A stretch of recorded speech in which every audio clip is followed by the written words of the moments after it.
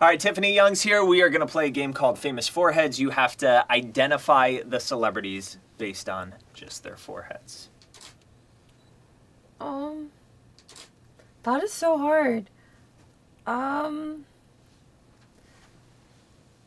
Reddish, orange. reddish, orangish. Uh, Ed Sheeran. Yes. Oh, thank you. I wasn't sure in the light.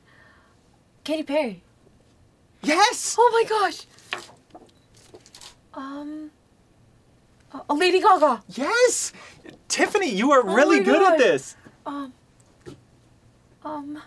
That I don't know why that looks like Niall. Yes. Oh my gosh! I'm getting it. Um. Uh. Um. Rihanna. D- well, Demi. Demi yes, yes, yes. Lovato. Oh my gosh, I'm getting this. This is Okay, a tough wait. one. Um. Okay, there are a few. I feel like he looks much tanner than he normally is in real life. Okay. Um. Uh, fir- my first, my first gut was Justin Timberlake. No way. Yes. Oh my goodness. Um.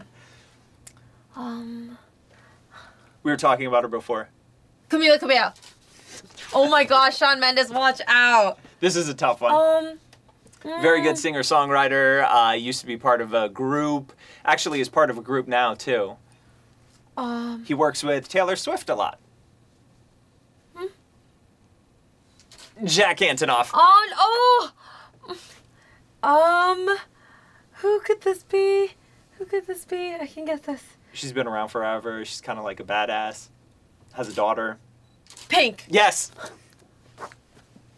Um. Taylor Swift. Wow. Oh my gosh. Why was I nervous? You were so Can I be a good. little proud? Absolutely. High five. You missed Oh two gosh. people. I Oh my think you God. beat Shawn Mendes's record, or maybe he had one more than you. But you're like neck and neck with Shawn Mendes. Oh my gosh. I'm.